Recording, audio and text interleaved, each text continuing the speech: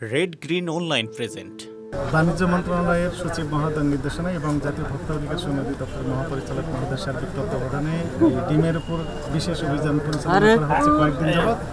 এরই অংশ হিসেবে গতকাল আমরা সাভারের যে আশুলিয়াতে অবস্থিত কাজী ফার্ম সেখানে আমরা অভিযান পরিচালনা করেছিলাম এবং সেখানে আমরা যে দেখলাম যে সরকারি রেটের চেয়ে যে রেট বেঁধে দেওয়া হয়েছে সেই রেটেই তারা মূলত পাইকারি ডিম বিক্রি কর- করছে। আমাদের কাছে ক্যাশ মোমো ওনারা সরবরাহ করেছেন। আমরা সবগুলো এক তারিখ থেকে সাত তারিখ পর্যন্ত, অর্থাৎ এই মাসের এক তারিখ থেকে সাত তারিখ পর্যন্ত যত ক্যাশ মোমো ওনারা বিক্রি করছেন, যত ডিম, সবগুলো ক্যাশ মোমো আমি সংগ্রহ করেছি কার্বন কপি সেখানে আমরা অ্যানালাইসিস করে দেখেছি যে এগারো টাকা এক পয়সা রেটে বিক্রি করেছেন তারা ডিম, পাইকারি এবং দুই তারিখে, এই মাসের দুই তারিখে নয় টাকা একান্ন পয়সা দরেও বিক্রি করেছেন। অর্থাৎ সরকারি রেটের চেয়েও কম রেটে বিক্রি করা হয়েছে। এই নয় টাকা একান্ন পয়সা অথবা এগারো টাকা এক পয়সা দরের যে ডিম, সেই ডিমটি হাত বদলের মাধ্যমে, কাঠচুপি, কাঠসাজির মাধ্যমে, কাপ্তান বাজার এবং তেজগাঁও ডিমের আড়ত রয়েছে। তাদের মাধ্যমে এই ডিমটা ঢাকা মহানগরে সহ গোটা বাংলাদেশে এই রেটটা ছড়িয়ে দেওয়া হয়েছে। এবং সেই কী রেটে বিক্রি হচ্ছে আপনারা দেখেছেন যে একটি ডিম পনেরো টাকা পর্যন্ত উঠেছে।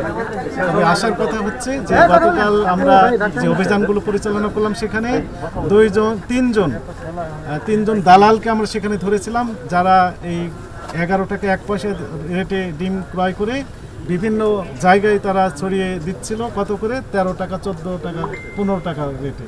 তাদেরকে ধরে সঙ্গে সঙ্গে আমরা আইনের আওতায় নিয়ে আসতে পেরেছিলাম এবং তারা কমিট করছেন যে কাজ থেকে তারা বিরত থাকবেন একই সাথে আমাদের অন্যান্য যে সহকর্মী রয়েছেন, তিনারা তেজগাঁও এবং কাপ্তান বাজার, সেখানে অভিযান পরিচালনা করা হয়েছে এবং তেজগাঁও ডিমের যে আড়তের যে মালিক সমিতি রয়েছেন ওনারাও আমাদের অধিদপ্তরের সাথে বসে ওনারা কমিট করেছিলেন যে ডিমের যে অত্যধিক দাম রয়েছে, সেখান থেকে ওনারা কি করবেন? বেরিয়ে এসে কম দামের ডিম বিক্রি করা, অর্থাৎ সরকারি যে রেট সেই রেটে বিক্রি করার জন্য চেষ্টা করবেন মানে অঙ্গীকার করেছেন। তাদেরকে কড়া ভাষায় সতর্ক করা হয়েছে, যদি সরকারি রেটের মধ্যেই তারা বিক্রি না করেন, তাহলে আইনের সর্বোচ্চ যে প্রয়োগ, সেটি করা হবে। এরই আলোকে আজকে আমরা যেটি দেখলাম, যে বাজারে এর প্রভাব, ইতিবাচক প্রভাব পড়া শুরু করেছে। খুচরা পর্যায়ে আমরা দেখলাম একশো পঞ্চাশ টাকা ডজন হিসেবে বিক্রি হচ্ছে। তো এইখানে আমরা দেখলাম যে বারো টাকা করে যে ডিম বিক্রি হচ্ছে প্রতি পিস একশো চুয়াল্লিশ টাকা, সেটিও আমরা এখানে দেখলাম।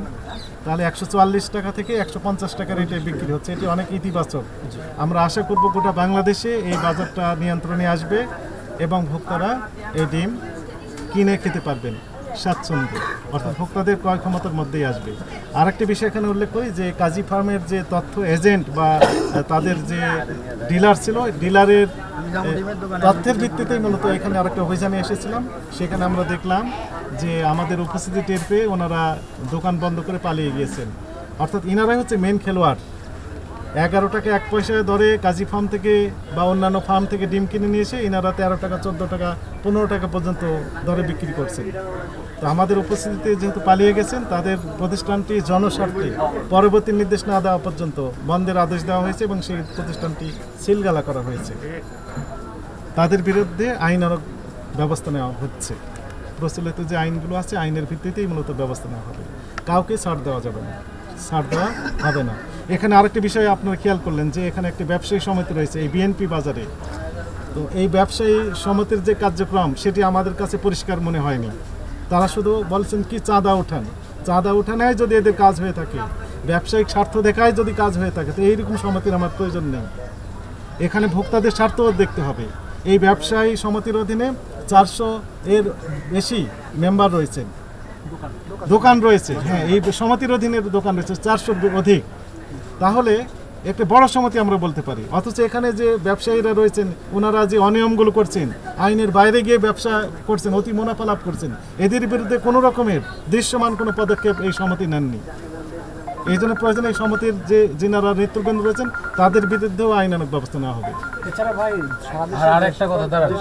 আরেকটা বিষয় হচ্ছে যে দুইটা ডিমের দোকানে অভিযান চলল এবং আরও একটা খাবারের দোকান এবং গ্যাসের দোকানেও যাওয়া হয়েছিল তো এই এদের কি শাস্তিমূলক ব্যবস্থা নেওয়া হ্যাঁ গ্যাস আমরা দেখলাম যে সরকারি যে রেট ছিল সেই রেটের চেয়ে একশো টাকা দুইশো টাকা রেট বেশি নেওয়া হচ্ছে। ওনারা বলছেন আমরা জানতাম না বা বেশি দামে কিনেছেন। বেশি দামে কেনার কোনো প্রমাণ তারা দেখাতে পারছে না। এই প্রতিষ্ঠান বিরুদ্ধেও আইনানুক ব্যবস্থা নেওয়া হয়েছে। সতর্কতামূলক জরিমানা করা হয়েছে এবং তারা কমিট করেছেন ভবিষ্যতে এইরকম যে আইন ভায়োলেশন হয় এরকম কাজ থেকে বিরত থাকবে আমরা অ্যামাউন্টগুলো জানতে চাচ্ছিলাম। দশ হাজার টাকা করে জরিমানা আরোপ করা হয়েছে।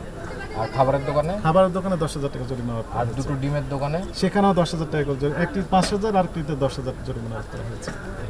এই বিশেষ প্রতিবেদনটি যদি আপনাদের ভালো লেগে থাকে অথবা উপকৃত হন তাহলে অবশ্যই এই চ্যানেলটি সাবস্ক্রাইব করুন এবং লাইক কমেন্ট ও শেয়ার করে রেড গ্রিন অনলাইনের সাথেই থাকুন। Thanks to everyone red green online